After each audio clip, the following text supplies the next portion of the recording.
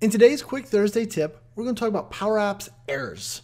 So we're going to use that function to sort out an issue with one of the apps that I recently built because what better way to teach you than show you where I screwed up and how I could have done better. Should be fun, should be fast. But first, here's our intro. Hi, my name is Shane Young with Power Apps 911. Those guys. And today, we're going to look at the errors function in Power Apps.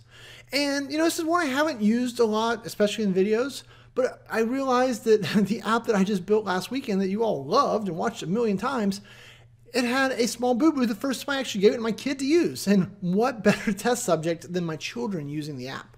So what I thought we'd do is go over and learn a little bit about the errors function and then once we understand how it works, at least at a you know quick enough level that we get our heads wrapped around it, then we will switch over into my app and we'll fix my app because I think that's more interesting. I show you what I should have done better. Also show you the other way I could have avoided the errors. Right? There's two different ways to go with this. So we're going to talk through both of those. Should be interesting. Let's just switch over to my desktop and take a look. Okay, over here on the desktop, we're going to jump in. So this is the app we're going to fix, my juggle tracker. And what I realized I guess I should have left this open, is that I didn't do any validation. So my record, right, when I patch this to the data source, it requires the title field to be set, but I didn't do anything here to force it. So when I gave it to the younger kid, he just plopped right in here, said start session. Let's get her done. He lost a fun little message, and then he got built all his fun Good stuff. job, buddy. Good and job, buddy. once he was done, he hit finish session, and everything looked normal to him. But when I got the report in my email, it's like all the data was missing. And but from a user perspective, it's like mm, everything's great. And he was really angry because he had a 17, and that was a really high number for the young one. So anyway, how do we fix this? And if we go back in here to like editor mode, you can see there's an error and it says the title field is required. So I didn't patch the right data. Ugh, but I didn't stop him from going forward. So what happens a lot of times for us, let's go over here, let's just make a new screen again is we end up with some type of scenario where all right, I got a button here. And so on this button, I'm going to do two things, right? I'm going to patch a data source. Someone might patch um, employees, right? That's the SharePoint list I was using. Nope, it was Juggle Tracker. So patch Juggle Tracker main.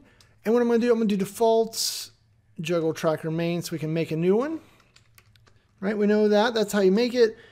And then in here, I had something, you know, basically this one has a title field, and then it also has a um, touches field, I think was the other one. Oh, I asked fill in title and we'll do test and then we'll do touches. Total touches, 12. Okay, so that right there, that's a valid patch statement for this data source. So if we press the button, you know, turns gray, comes back, blue, everything is great. But in his, I was taking a text input or that drop down and I was uh, moving forward, right? So we had like a quick little drop down here. So let's just do inputs, drop down.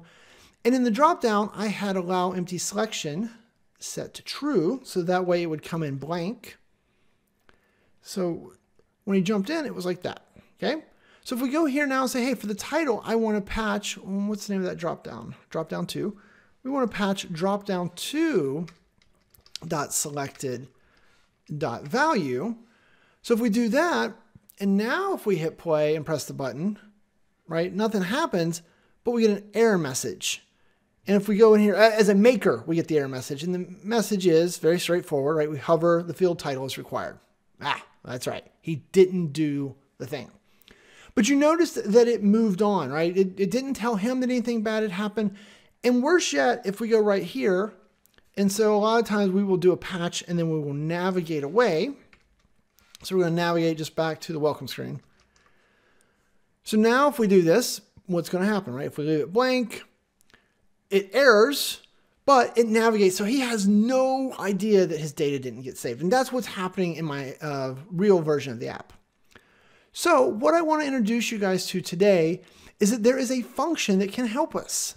And that function, we're going to use a, hmm, let's use a label for a moment, is it's going to be a, um, it's called the errors function. So if you do errors, not error, but errors, and then a parenthesis, and then your data source. So in our case, Juggle Tracker main, What that is going to do is that returns a table of data. And so with that highlighted, I can do this. It's like, oh, I didn't find anything. You did. But it returns a table. We can't show a table in a label. You, you probably knew that already. Um, but what we can do when you have a table of data, we want the first record from that, right? So what we do, we'll just say, give me the first record. That gives us a record. We still can't show a record inside of a label. Fair enough. But then finally we can say, show me the message. And so then that would actually be the text from the error as it happened. And so what's really interesting about that, so when you got that down to a text, it's not showing right now because Power Apps likes to annoy you. But what we're going to do here is we're going to say, hey, before instead of navigating away, what I want you to do is I want you to notify with all that. So give me whatever text is there. So now if we press the button, you can see that the label updated and the notify updated. Field title is required. So we're able to see the error message. But if we patch it successfully, it's going to, oh, it's clear. Let's just notify. Notify, you're annoying sometimes.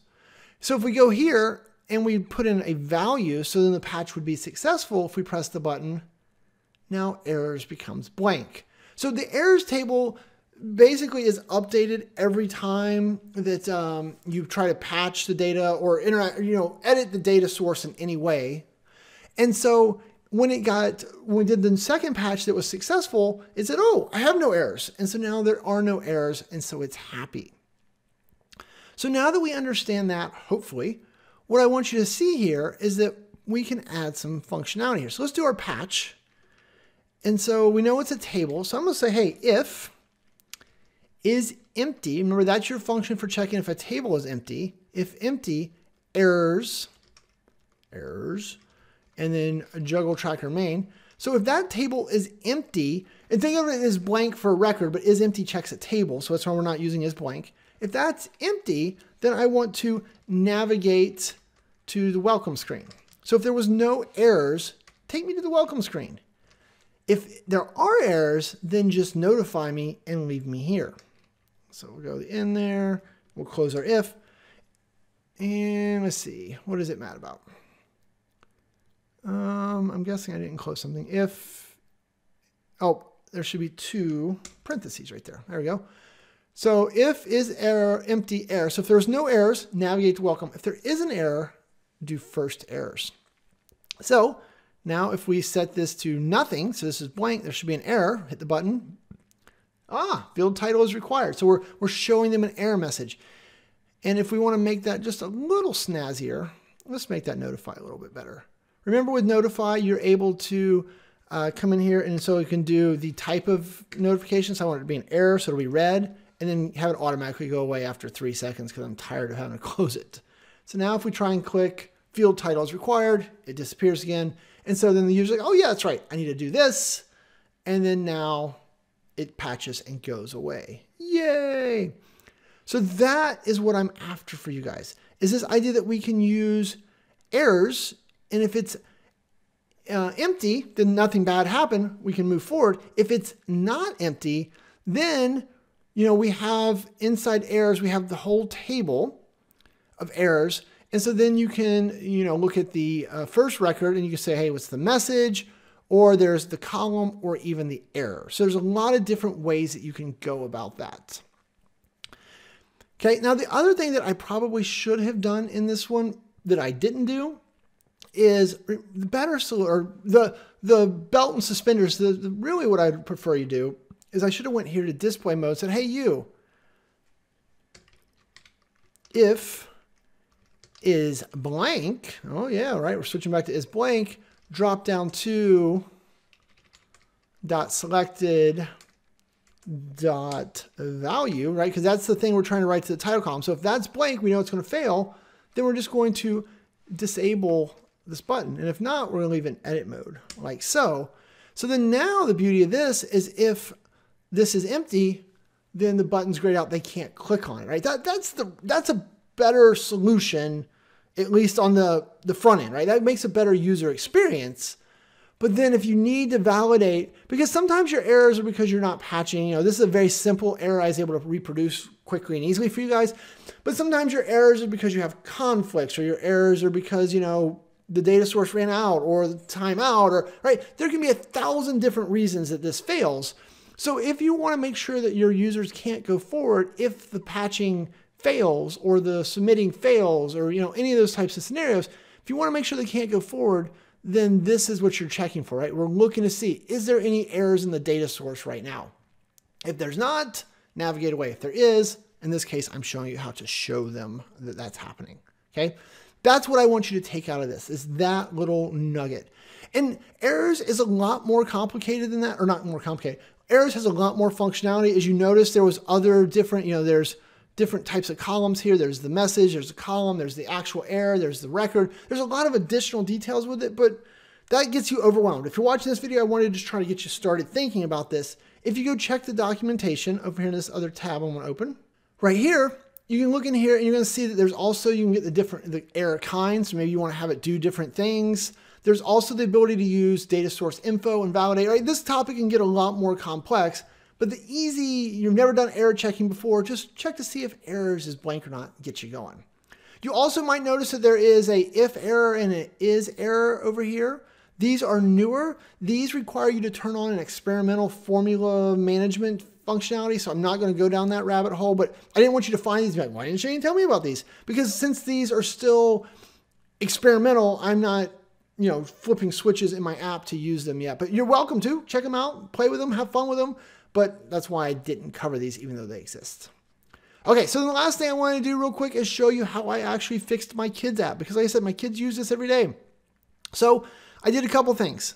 The first thing I wanted to do over here was fix the display mode. And you can see I kind of keep toggling it back and forth so that I can, I have the bad version of the code and I have the good version of the code.